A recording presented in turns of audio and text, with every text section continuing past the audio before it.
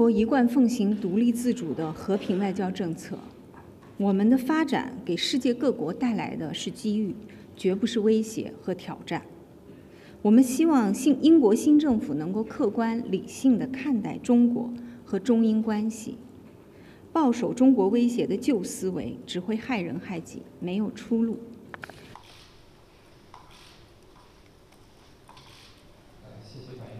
我们积极评价欧方有关表态，中国也支持全球化，反对脱钩。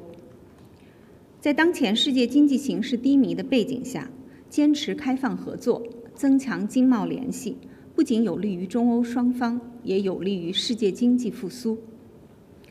中国和欧盟互为重要的经贸合作伙伴，双方合作互利共赢。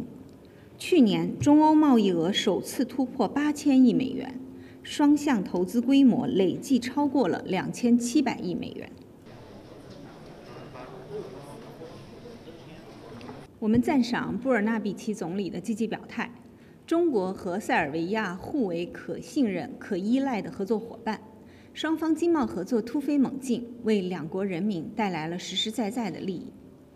不仅仅是塞尔维亚，事实上，中国已经是一百三十多个国家和地区的主要贸易伙伴。欧洲贸易关系需要更多的